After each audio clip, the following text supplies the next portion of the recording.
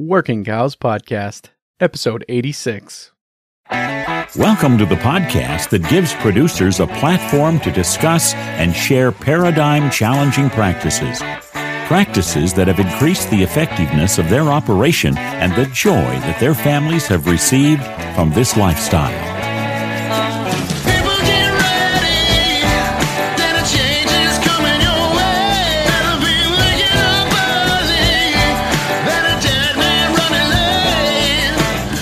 Howdy, everybody. This is Clay Conry, host of the Working Cows Podcast, powered by the Global Ag Network. And this episode is brought to you by the High Plains Ranch Practicum. More them, from them in a bit, but just to let you know, High Plains Ranch Practicum registration is open. You can check it out at ran- hpranchpracticum.com. Today we're going to talk with Glen Jensen. He is a vet in Utah. He reached out to me and said, You know, I think we've got some good discussions happening here on the Working Cows podcast. I'd like to add to that discussion with a discussion about breeding soundness exams in bulls. And so we're going to talk to Glen about kind of his challenge to the paradigm of breeding soundness exams and some things that we could do to maybe get a little bit more accurate picture of how those bulls are actually going to perform on a year to year basis. So, Glen, thanks for joining me today on the Working Cows podcast. Well, thank you for having me. I'm excited to share some, I hope, some good information that will be uh, important for uh, cattle producers everywhere. You reached out to me and wanted to talk about bull breeding soundness exams Yeah. and the yearly bull. So, can you kind of give us a, a start of where you would start if you were looking to implement this practice uh, in an operation that hadn't been making use of it to that point in its history? Yeah, I, I sure can. Um, you know, first of all, I guess um, I like to kind of create maybe a little background and, and understanding, and I don't know what um, different people understand on bull breeding soundness exams, and and I guess the uniqueness of it in different areas, and especially in the yearling bull, there's a, a real unique part of it, and and the uniqueness there is is that uh, there's a, a period of basically a time of puberty, but then sexual development, and how long and what it takes basically for these to become, or the bulls to become, uh, I guess, developed enough or sexually mature enough to actually uh, produce, and then also to be able to um, get to where they need to be to pass an examination. Um, and it becomes quite unique. Uh, I think too one of the important things is to to try to create a, an understanding of basically um, the importance of um, bull fertility. And I might even turn that around for just a second and maybe, uh, Clay, understand that you have been around cow calf operation quite a bit. And I might even ask a question to maybe create this picture. And that is, is um, when you go to a bull cell, what do you look for? Birth weight, weaning weight. Oh, I like that it. because I think that's I think that's very true and pretty pretty um, normal, and that's what I see too. Uh, is is that, and, and I think in my mind, and you can tell me if if you think the same thing or a little different, and maybe the audience can think, you know, what do I think of too, and why? Uh, but that is is so why do we think of those things? And, and in my mind, I think it's because that's what's put out in front of us all the time. So when it comes to bull fertility, then the question is, is what is put out in front of us? And I don't know if you have an input on that. I could tell you what I'm, what I see, and then maybe you could tell me what you see too.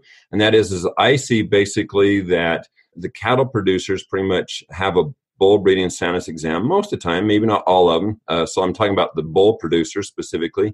And they basically say, well, they've been semen checked or fertility checked, or they'll say, well, they're guaranteed fertile. So is that kind of what you see? Yeah, Yeah, basically and- semen and- tested. That's you know that's the the lingo that you get on the 30 second radio ad or in the you know the flyer that you get about the sale is that they're semen tested. Correct. Good. And so then the question is, is what does that mean? Or, or I might even ask the question, what does a fertility guarantee mean? And so, you know, what exactly is that? And so maybe to look at a little bit is because I've listened to several of your podcasts and I and I love the fact that you know we're looking at paradigms and we're looking at trying to understand how we look or think about things. And so if I was to look at a piece of ground and I would say, is that a fertile ground? What does that mean? Hmm. and and the the gamut i guess can be quite a bit different and so as i talk to several producers um, i also hear something quite commonly uh, and that is well i know the bull is good because i have calves out of it and sometimes i think the paradigm today is that it seems to be for many producers not everybody but seems to be black and white a bull either is fertile or they are not fertile when yet that is not truly the way that it goes. The reality is that most bulls are. Uh, it's not one where there's there's quite a bit of difference in in different levels of subfertility. And so, what is subfertility? Well, it's basically uh, if I'm using a bull, it'd be basically, you know, can he achieve 100% pregnancy? Does he have that capability to do so? That'd be a 100% fertile bull. And it's probably never going to happen. You know, I'll never say never, I guess, but it's not too likely. Um, so, what would a subfertile bull be? And and again, that might depend on a person's um, perspective. But a subfertile bull generally would be defined as a bull that's probably not achieving what or cannot achieve what our goals would be. And so, uh, with that thought, then what are our goals and what would be considered to be a real fertile uh, herd? And if we look at efficiencies, and in the reproductive area, uh, then the question is is what what should we be trying to achieve? Uh, so maybe I could to create maybe more of a uh, understanding again ask you a question and and I think everybody might be at a different point of this. But in a cow calf operation, what records do we keep and what are our goals for um, for reproductive efficiency? So I don't know if you have any thoughts on that one you know, from the Bulls side, I guess we don't probably pay too much attention to it because the turnover rate on Bulls is so high, for one. And two, uh, when we have paid attention to it, it's been a result of an issue with a bull. So we had a bunch of calves that looked similar that were struggling to be um, vigorous at birth, and most of them died. And kind of had the same look to them as far as frame and some coloration and stuff like that. So we had those genetically tested, and then we traced it back to a couple of bulls in our herd, and we shipped those bulls down the road. Basically, is is kind of how we have handled it. Um, so that's that's basically it. You know, if we if we have found an issue in the in the calves that are being produced, we will go back and test that those bulls and see which ones were were throwing us some calves that were uh, giving us problems. So I, I like that because I like that in the fact that I think that's fairly common paradigm as far as uh, you know we basically and in this case of course you're talking about a, an area where there are some genetic problems um, going back and identifying that and I think that oftentimes we do act basically after the fact and try to figure out what problem, which is important. Um, but to take a more proactive state, especially when it comes to reproduction uh, and the efficiency, one of the goals that we have is is we want to basically make it so that um, our reproduction is not wasting. Uh, so what I'm what basically we generally look at for that is most of the time to have a really good uh, reproductively effective herd and to get rid of uh, inefficiencies we want to be able to have a short calving period generally three cycles so approximately 60 63 days um, and stick with that. There may be times and reasons to go longer. Uh, and then within that, what we want to look at is, is how many cattle are we getting pregnant during that first 21 days? So now the way we think about that is, is why is that important? What do we do to make this uh, effective? And why, why is that first 21 days important? And if I got, say, 50% of them pregnant during that first 21 days and the other 50% during the next 40 some days, uh, you know, what does that mean to my bottom line? And if you think about it, everything that's born after that 21 days, you lost 21 days of production. Uh, take that and an easy number to take it as times by two, meaning that that's 40, about 41, 42 pounds uh, of production. Now take that and times by however much you're getting per pound and start to add it up and you can start to see basically the costs and what is involved. So I did something um, just to kind of look at this, and I actually created a spreadsheet in Excel. And I says, all right, so let's assume that one bull is 80% effective. So that means that he will get uh, or has a chance to get 81% of the cattle pregnant, or 80% of them. Uh, and another bull, compare that to 60%. And then if you're looking at records, then the question is, is what uh, what are we going to see uh, difference? And so uh, when you look at that, what's really fascinating is, uh, and assuming that you're going to keep a bowl for five years, and you may or may not do that. But the part that I find really interesting is, is that on an 80% effective, your pregnancy rate at the end, uh, assuming nothing else happened, and I realize that this never really happens, so this is more of an illustration but in three cycles, you have 99.2% uh, basically pregnancy rate. On a 60%, so a 20% difference, you got 93.6. And just for information, let's go in between and say 7%, you got 97.3. So there's just a small percent. But when you look at each cycle and you look at basically the difference between it and the losses, uh, you uh, end up with about $2,000 loss between an 80% and a 60%. And that doesn't only come from lost calves, but it comes from lost weight gained by those. So hopefully that makes sense. Yeah. Yep. So that's the first thing I think we have to understand is, is what are we after and why? Now we can start talking about the bull breeding soundness exam itself. Uh, so just like trying to get the most you can out of an acre of pasture, and how do you do that? How do we also get the most we can out of a bull? Uh, Yes. And what does that mean? What do we look for? So then the next thing I'd like to do then is think about what's called a veterinary bull breeding soundness evaluation or exam. Uh, and basically, to, to make it fairly short, but put it down, there's three areas that we look at. One would be the physical exam. Uh, and if there's anything there that makes it so the bull can't perform and do it, then basically that would be kind of cold or, or, or corrected, one or the other. Um, uh, that includes scrotal circumference. And scrotal circumference is important because the larger the scrotal circumference, the more cattle that bull has potential to cover. So he can produce more semen, basically. So that's part of the physical exam. And we look at several other things. Then we basically collect a, a semen sample. And in that semen sample, we look for two things. One would be motility. The other one is morphology. So let me describe what that is. Motility is progressive motility. It's basically how many of those uh, cells, those sperm cells, are in a progressive movement. Morphology is basically the cell structure itself. Now, looking at the importance of all those, we can't really say that none of them are unimportant, but morphology is the most important one as far as when it comes to terms of what do we see that creates the most problems within our bulls. Uh, there was a study done in Michigan, a retrospective study over the years that they were basically uh, testing bulls. And in their study, they basically looked at it and they said that uh, motility really had in their group of cattle over several years, or groups of cattle, I guess, they basically found that uh, motility had very little impact on the final decision. So morphology was the big thing. So morphology, then, the cell structure, and why that's important is is that in any one uh, sperm cell, if there's a morphological problem with that, one of the things that can happen is is it may not create pregnancy, but also it may create a pregnancy, but because the DNA or other things are abnormal, basically you end up with an abortion. And you usually don't see that. It usually doesn't go clear out to the point where you'd ever see anything. It may be uh, that they become pregnant, they're only pregnant for a few days, a few weeks, maybe a month, something like that.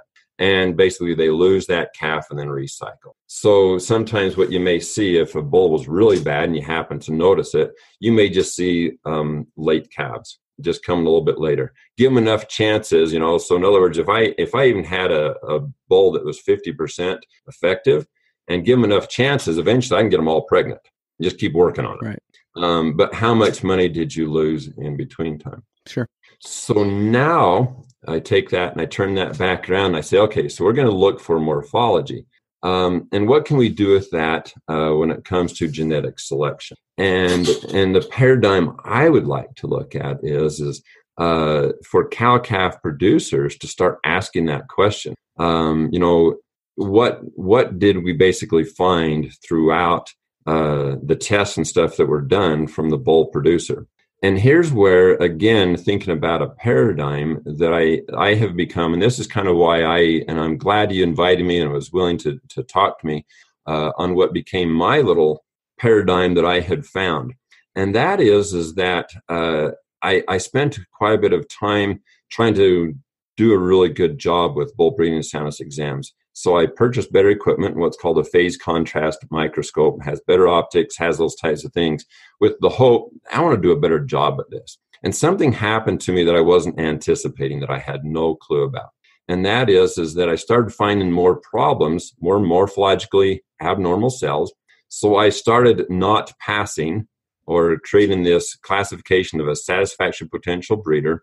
Uh, and so what happened was is bull producers quit using me as much. Yeah. And so I'd like to ask another question. So if you're a bowl producer, how many bowls would you like to sell? Hmm.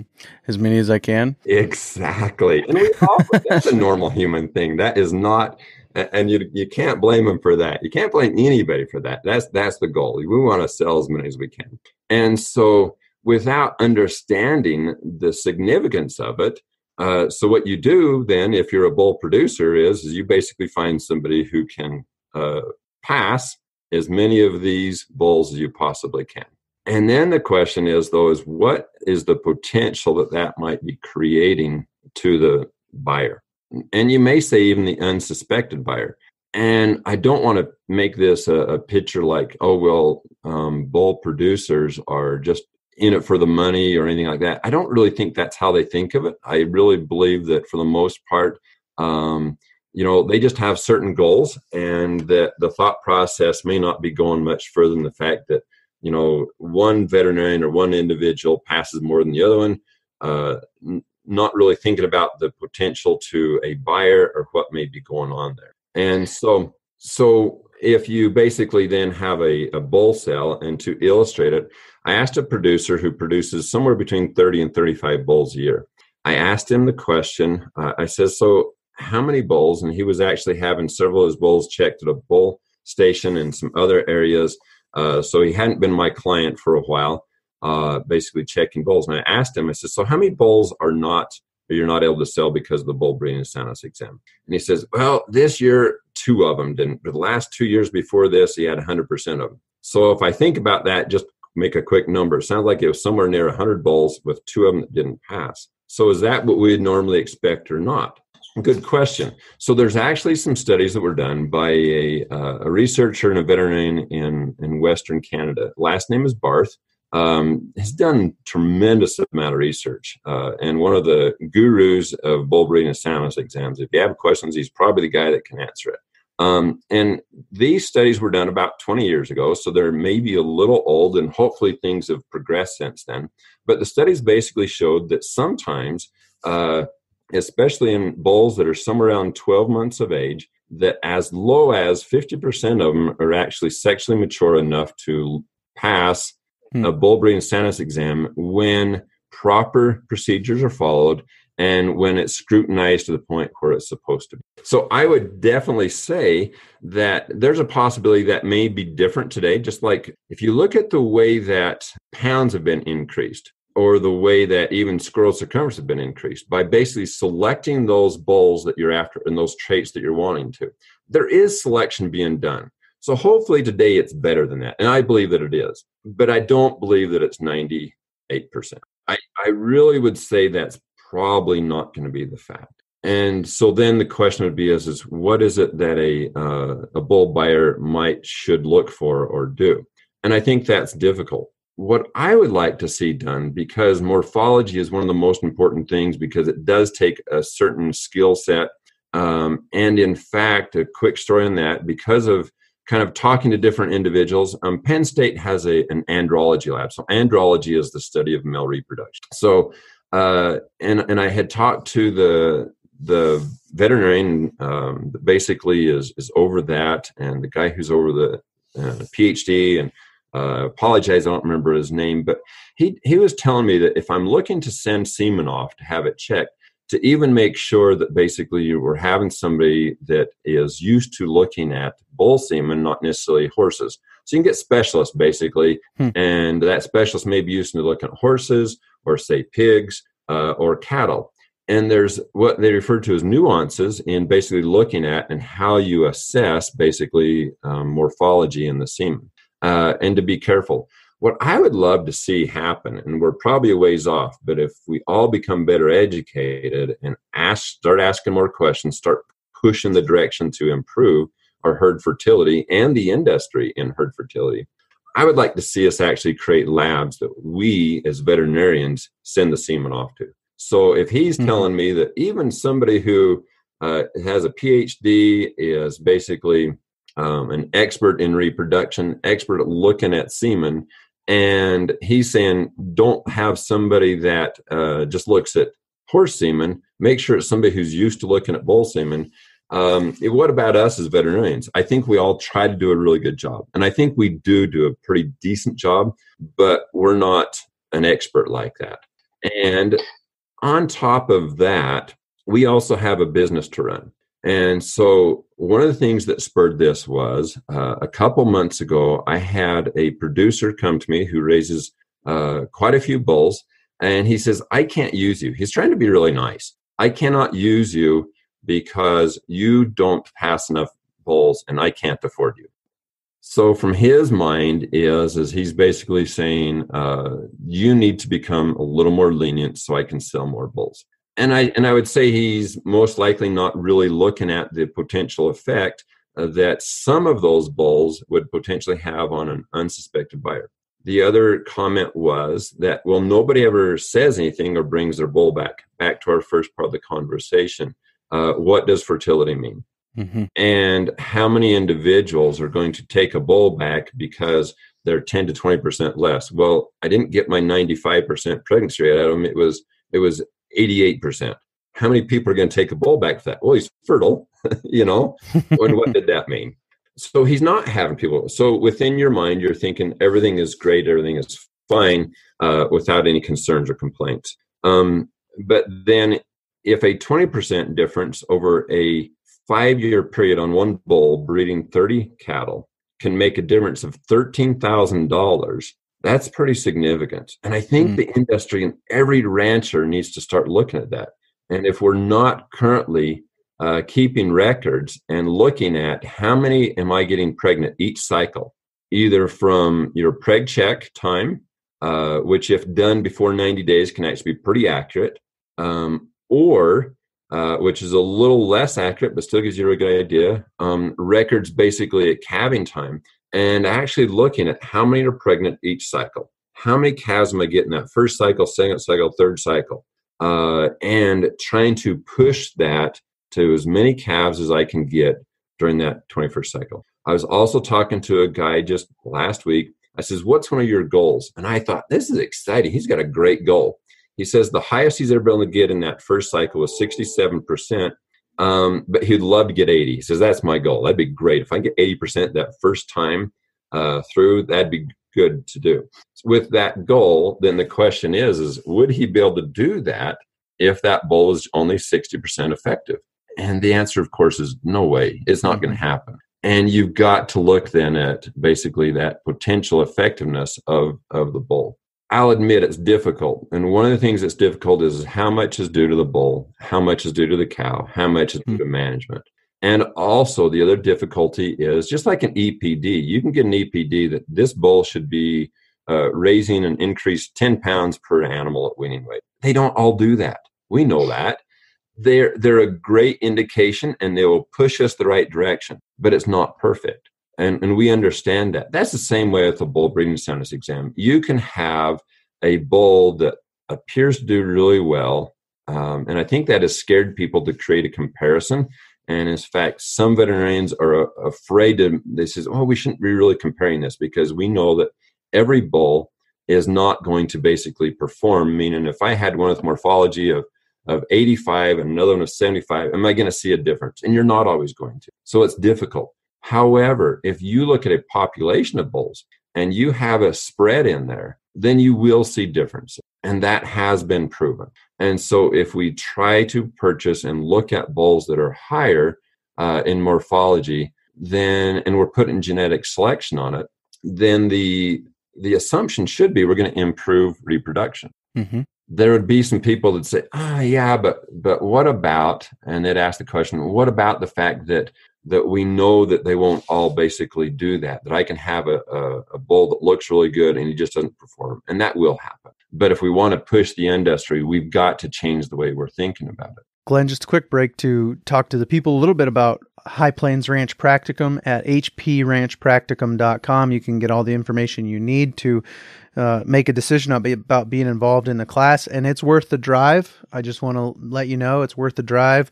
Uh, if you're in a state that touches, uh, if you're in a state that touches Wyoming, I think that it's worth the drive. Montana, South Dakota, uh, Nebraska, Colorado, Idaho, Utah, one of those states. If you're near Colorado and you can make the drive and and make time to get there, uh, let me encourage you to take the opportunity to be a part of the class of the High Plains Ranch Practicum.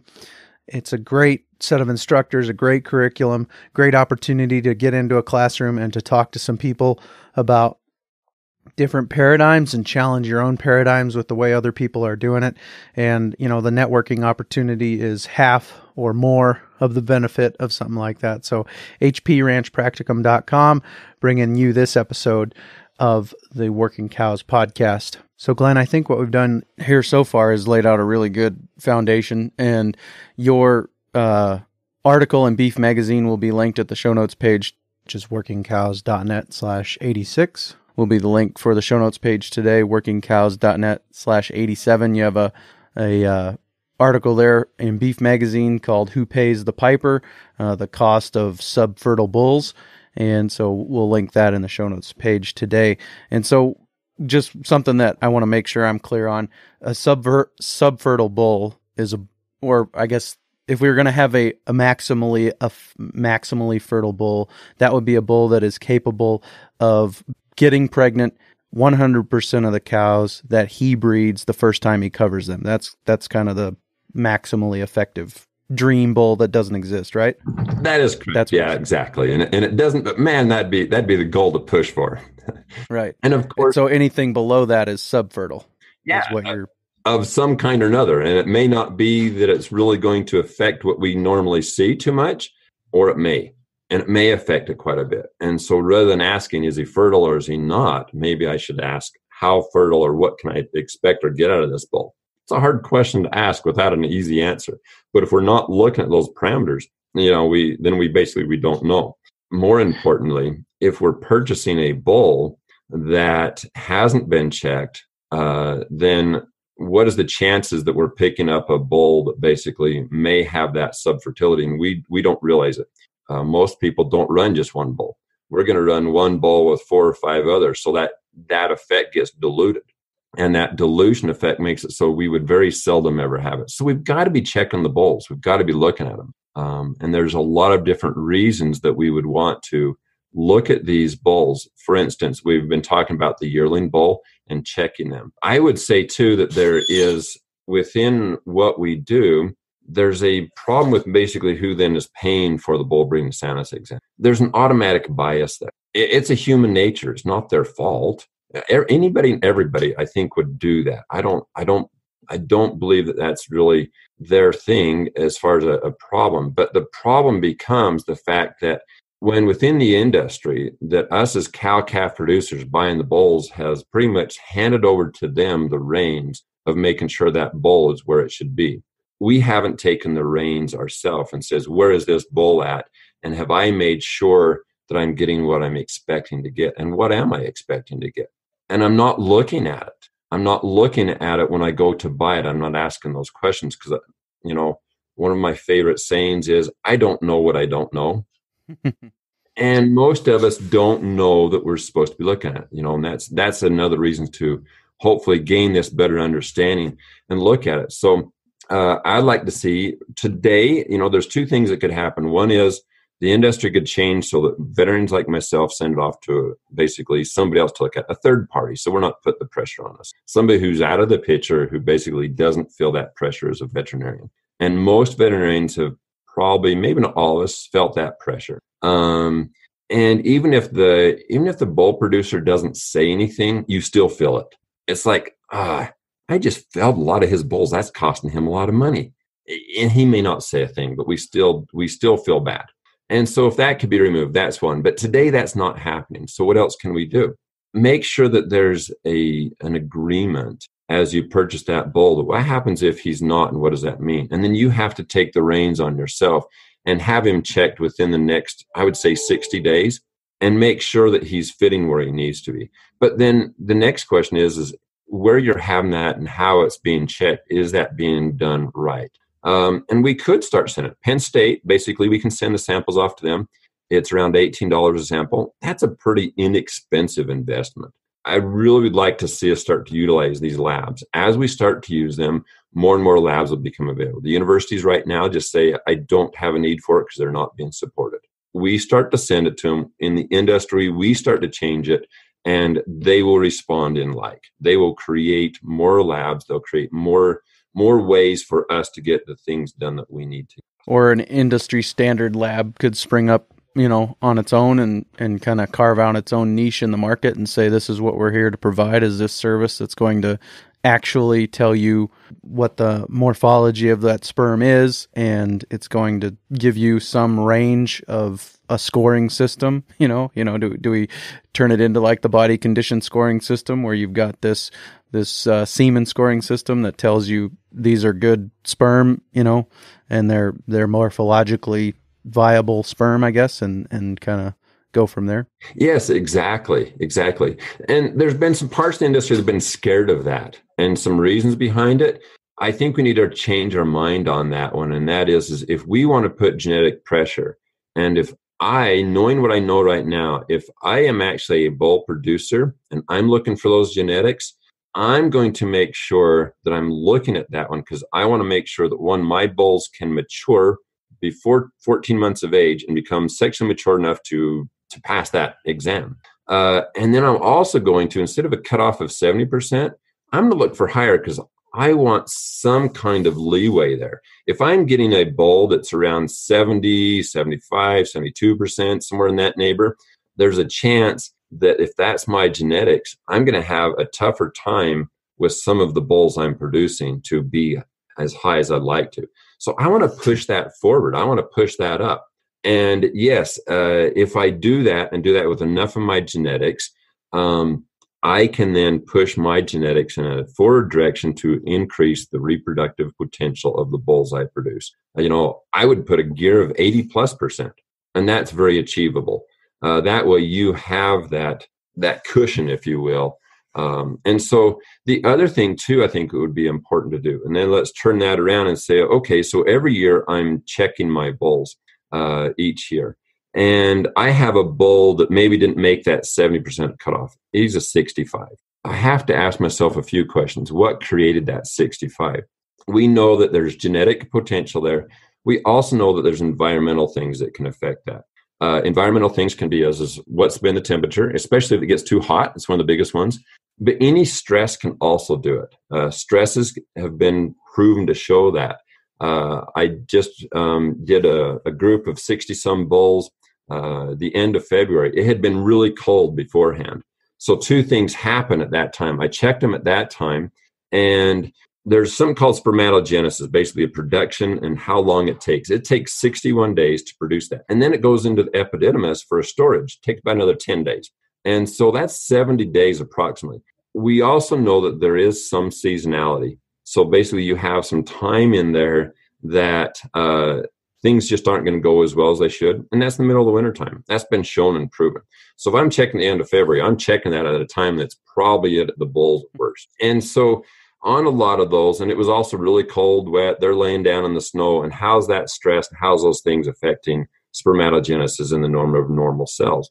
Uh, I would really be better off to check those bulls closer to the time that we're going to use them the producer also though does need some time to make sure they can replace those bulls and i have a lot of people that'll check them before all the bull cells which tend to want to push that envelope as early as possible i'd love to see people to relax a little bit wait a month you're going to get more, more bulls to pass. You're going to get you know it's garbage in garbage out. You mm-hmm. basically do this at a time of year that it's cold. And again this is just think about this you know. Um, ask the question. Yeah, I'm trying to get my bulls out in front of everybody at an early time, but what's that creating as far as the pressure on the bulls in a way that am I getting the results out that I need? Need whether it be pulmonary arterial pressure testing. I don't know if too many people in some areas of the world we do that a lot in higher altitudes. Other areas may not know Mm. what it is. But if it's really cold outside, I'm not going to get the results that are legitimate because it's being affected by the weather. That's the same way with the bull breeding sounds. If we can back that off, a bull buyer will buy it just as easy the first of February as they will the first of. I mean, not February.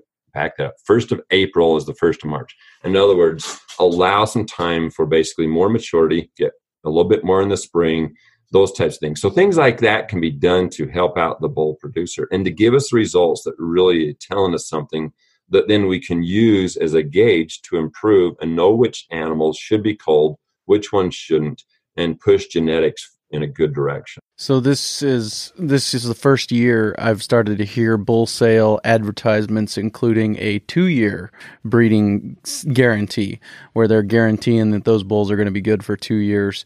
Uh, if you know they get hurt or whatever in the next two years, they'll take them back and and replace the bull for you.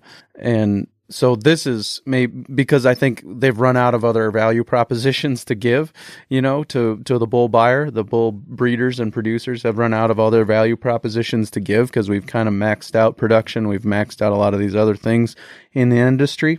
And so I think what you're talking about is another poten- potential value proposition that they could be offering to the bull buyer in saying that we've had these uh, we've had these bulls semen tested in a way that tells us about their uh, their their sperm composition, and th- we know that they're good, and they're 82% good, rather than the industry average of 70%. So I think that's an, maybe another opportunity for the industry to drive fertility forward uh, as far as saying we are measuring something else that nobody else is measuring.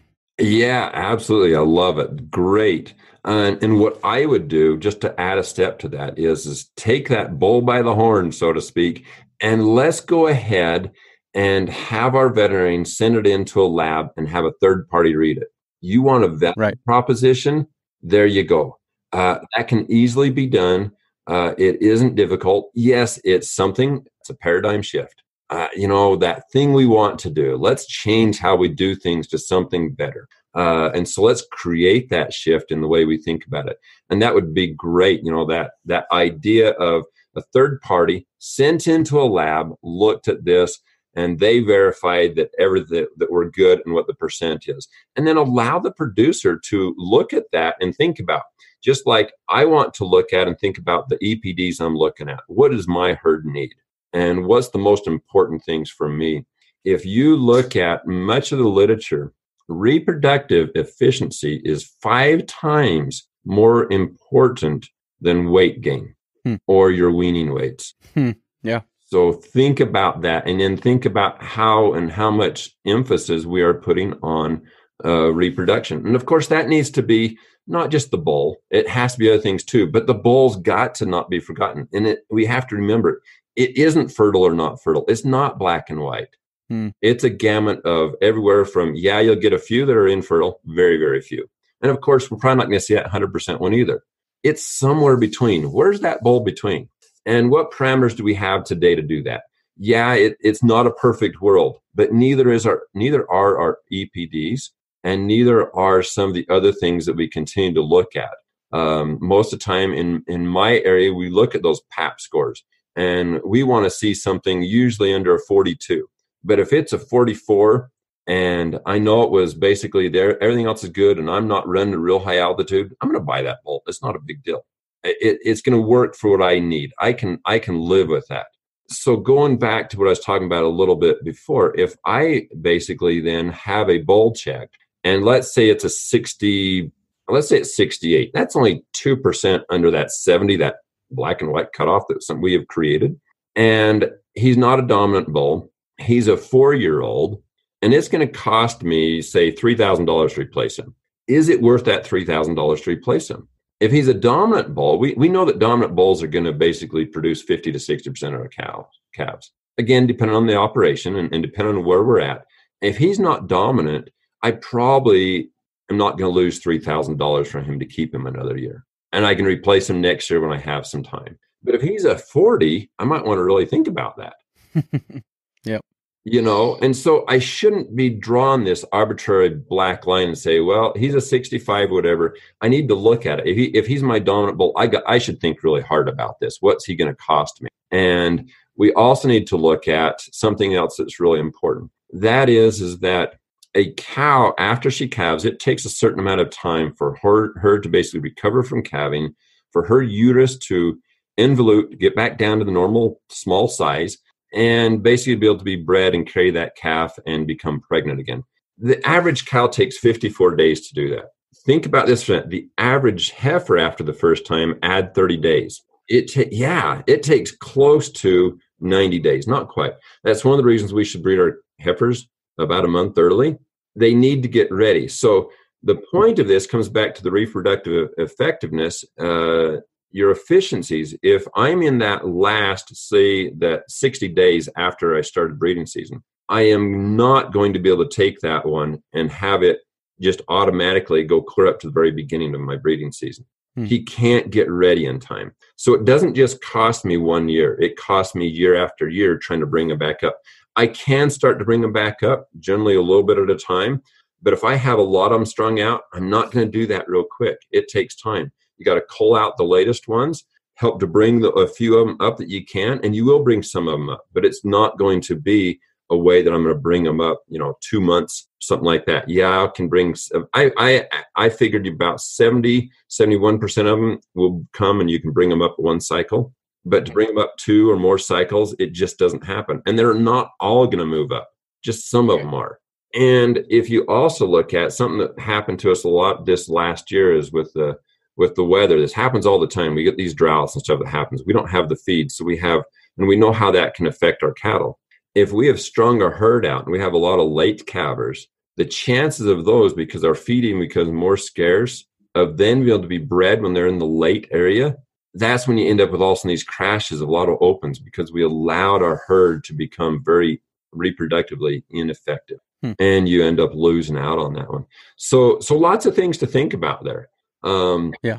and a lot of different areas to to take it and and hopefully from this we can start to think about and look at uh, our own you know reproductive effectiveness within our herd and put some more emphasis and some more information into our own herds knowing where we're at looking at what we need in our bulls and what we need in our cows what we need in our nutrition and those types of things to create this really reproductively efficient herd. Some really good stuff there, Glen. And I really appreciate your time today. I do have a couple things I want to clean up uh, that you said.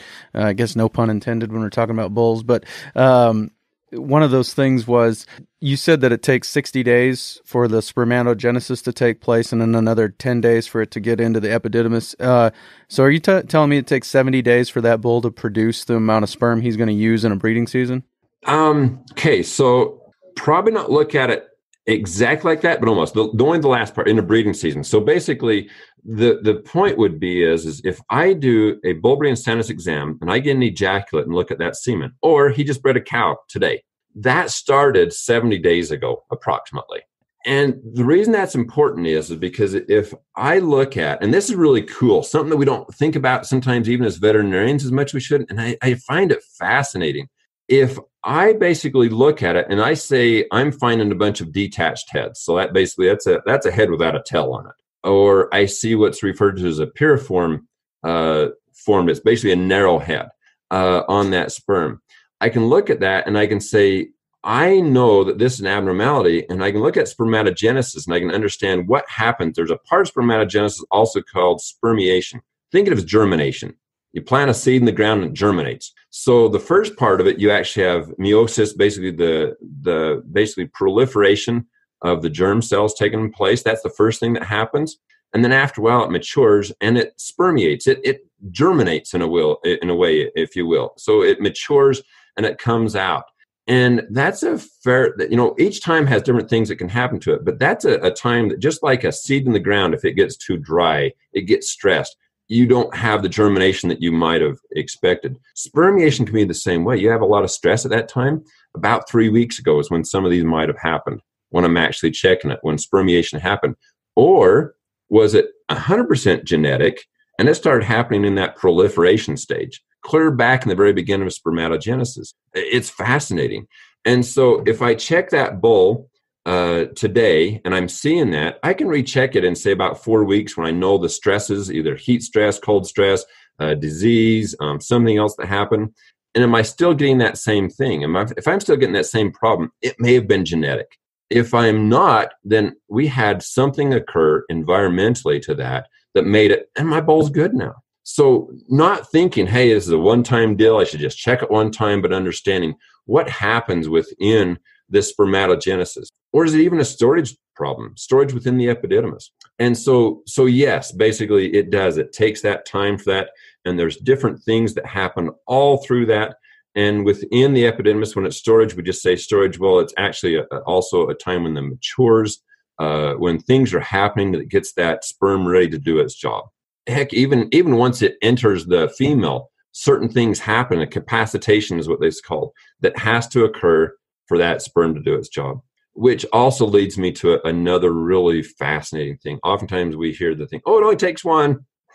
no, it doesn't. it takes thousands of them uh, for them. And there's little on the outside. There's an acrosome. We also look at those. An acrosome has enzymes in it that basically helps to penetrate the egg, if you will. It takes more than one of those to get through that egg. It has to beat at it, beat at it, beat at it. It takes so if the if that acrosome is all messed up and we have enough of those acrosomes, it can't they can't penetrate that egg. They can't get into it. And that would create it so you'd have a decreased pregnancy rate. So yeah, it's fascinating. It is just uh, a really interesting thing. Um, I've been working on, and I could share it. Uh, actually, creating a, a, chart that shows this. So um, I'll let you know what that uh, where that can be found uh, in your show notes page. I'll send you a link to it that you can include with it, and I'll I'll put that chart on a website that people can look at it, so they can say, "Oh, this is pretty interesting." Uh, I'll even create some pictures that people can look at on what are some of these abnormalities I'm talking about that people can access. And of course, you can also do some Google searches look for those types of things. I haven't seen a lot of great charts that actually show, shows each thing throughout spermatogenesis, but definitely pictures of different sperm cells and abnormalities can be found. Um, and so, yes, uh, the more understanding we have of how this works, the more we can then help our herd and help our bulls to get where they're supposed to be and where we want them. Whether you're a bull buyer, a bull producer, those seed stock producers all the way clear up there that the, even even the guy that you bought the bulls from, where's he getting his genetics from? Hmm. And it needs to start all the way at the top in talking about this, understanding this, and bringing that all the way down through. Hmm. Very good. So I can't let you go without touching on this one line from your article. The only way to improve a genetic pool is to put pressure in the direction you want it to go. So you've talked a lot about sexual maturity is there a phenotype that lends itself to an earlier maturing animal as far as sexual maturity goes? Yeah, a lot of things have already happened really good in that area, meaning that when we started putting more emphasis a few decades ago on basically the size of the scrotum, that helped. That helped a lot. So the other thing is, is I kind of put out that 14 month, and of course everybody's a, maybe a little different. The reason I put that out there is if you remember, uh, we have genetics there that we're trying to do specific things with. And I want to then breed that cow. If I'm waiting until 15 months, then I don't have that extra time for her to get ready to be bred back to the next year. So I'm giving her that extra time. So I'm putting that cutoff around 14 months. And at the same time, if I'm testing those bulls at 12 months, have I given them the time they really need to become uh, sexually mature? So it's so to, to me there it becomes pretty simple. If you're wanting to push that for that maturity then we ought to kind of draw that line somewhere and that 14 month would be a pretty good place to draw it. Uh, so yeah i think that they should be able to for the most part pass that bull breeding soundness exam right around that area so that we know that not only is that bull ready to go but the heifers that he is throwing would also be potentially ready and mature uh, last fall, uh, I was AIing for a guy, and there was a couple heifers that you could tell just they they weren't cycling yet. They just weren't there. The, the cervix was too small. They hadn't matured enough.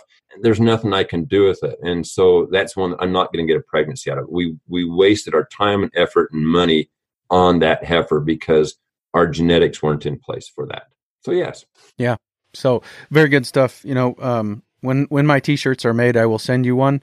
It's fertility drives the bus, and uh, so I've got the artwork done. I just I just got to get the t-shirts actually made, but you, you got one coming your direction Hey, when they come. So uh, it's the the cow driving the bus towards profit, and and it's fertility that drives that bus. So, anyways, anything we can do to improve fertility is something that we wanna we wanna do. Absolutely. Uh, the other the other thing you know that comes to my mind while I'm listening to you talk is maybe more days on green grass before bull turnout is a better thing for everybody involved. Uh, just something to think about, and I'm I'm not sure if you have an opinion about that. Oh, absolutely. And in fact, sometimes they'll do what they refer to as flushing. So I have had, especially on your heifers, uh, starting with a little bit of grain, you know, looking at that nutrition is so important. And even getting a, spend a little money get a nutritionist involved a little bit and say, okay, well, what do I need to do? Some of our grasses, you know, especially if they're a monoculture, they're not going to be nearly as good as if you have a variety in there. Uh, but even at that, don't be afraid to find out what supplements does my herd need, and in my geographical area, it may be supplements for uh, micronutrients. How's your zinc doing? How's the copper doing? Uh, do I have high sulfur that's tying stuff up? Um, and then also, you know, what other types of things do I need to make sure they're ready? And so you're right. We want to have all the cattle in a positive energy uh, area before the bulls are turned out. And you want that to be going for a few weeks beforehand. Uh, that gets them cycling well, and that gets both the bull and the cows doing well before basically breeding season. If they are losing weight, and that's one of the things too, if, if you look at your genetics and you're getting something that produces a lot more milk, what's that potentially doing and what's your resources? If we're producing so much milk that we're drawing from that cow, it's one of the problems dairies could potentially have, and it's one of the things they have to look at and say, what do I need to do nutritionally so that I am not losing weight and I can get them bred back up? And if you're gaining weight, uh, getting that positive energy balance, then they are absolutely going to breed much better. And you have to look at the bull too. You can't just look at the cows. So I've kept you uh, probably past the maximum amount of time I told you I would take from you today, but I really appreciate your time. Is there a way that you would like me to tell people to get a hold of you if they want to talk more about this? If they want to maybe have some some time to talk a little bit about uh, how they could start to implement this on their operation? Yeah, you know, I'd love to share this with anybody who's who's interested. In fact, I was thinking I'd like to get the just the word out more, or if nothing else, the conversation started more. And so I would be willing to to give my services if you had like a producer meeting and could maybe at least help me get there and back home again. I'd be more than glad to to come help talk. Uh, and and I, what I'll do is is I'll also create a, a website. I'm going to call it Integris Cattle. Uh, you can share that with it uh, and some contact information there. Um, also, be willing to share uh, a phone number with you. Uh, that'd be 435 749 1054. Now, of course, I'm a veterinarian. You may just have to try again. Give me a text. That's probably actually one of the best ones. Give me a text. Get back with you later because, uh, you know, my hand might be somewhere it doesn't belong. Who knows? Uh, and so, you know, I can't always necessarily get to it right then. But yeah, if people have questions, want to get with me, uh, also I can leave my email. Hey, that one can be really easy. Uh, just Glen at emeryanimalhealth.com. Pretty easy. E M E R Y animalhealth.com. Uh, and send me a note that way too. Another great way to get in contact me. Uh, love to just get this opened up and start talking. I, I really feel like we've looked at it too much like it's black and white. Let's not Mhm. let's not make reproduction or bulls black and white. It's not yes or no. It's basically what can we do to drive our bulls into better reproduction. And there's I'm sure there's many ways to do it.